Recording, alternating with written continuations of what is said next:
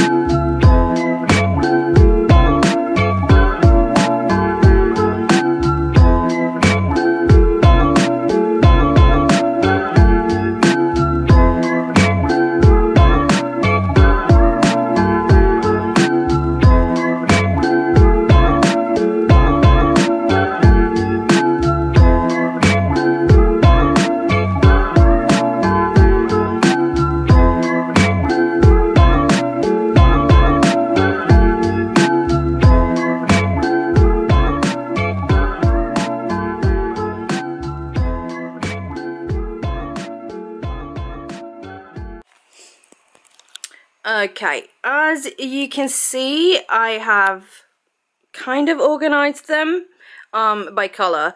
Um, these shelves are staying that way because they're sort of like, I don't know, storage. And I've just put up all the fluffy stuffed animals over here because um, I might have to use this area as well for some books, um, which I'm okay with because it will mean that the little girly cat, this one, can't jump up there because, um, yeah, she jumps from the window up there and then she walks all the way, kicks everything down and jumps back onto the sofa.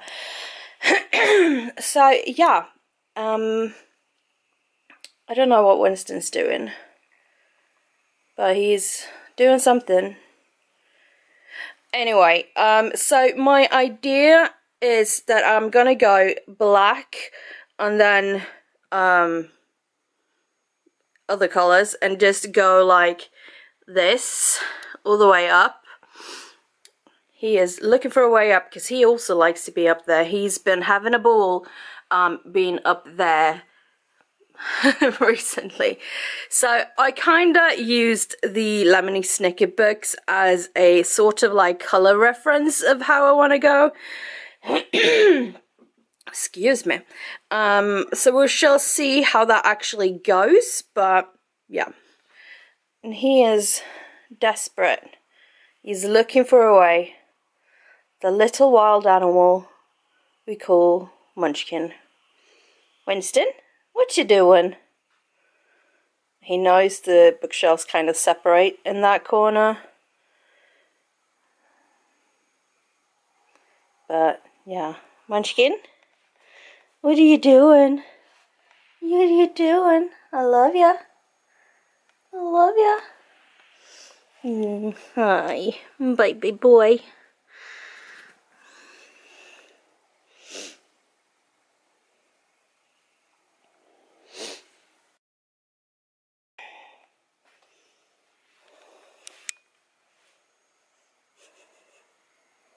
Are you doing, little babe? What are you doing? What are you doing? What are you doing?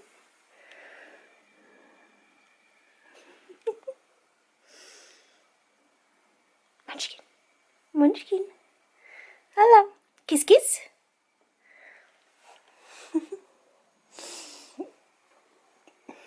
really?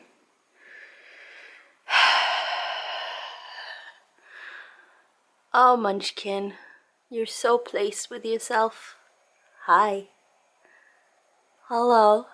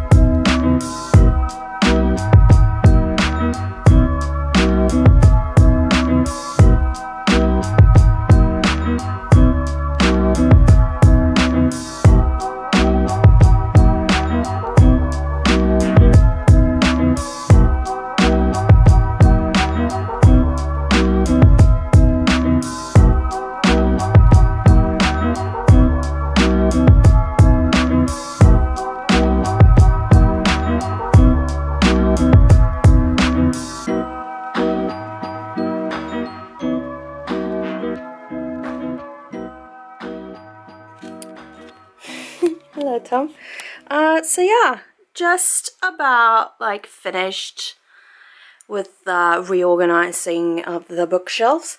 And I put this chair here because I do want to have like a reading chair over here and there. And this is technically an outdoor chair, but it's never been used, so we're gonna keep it there.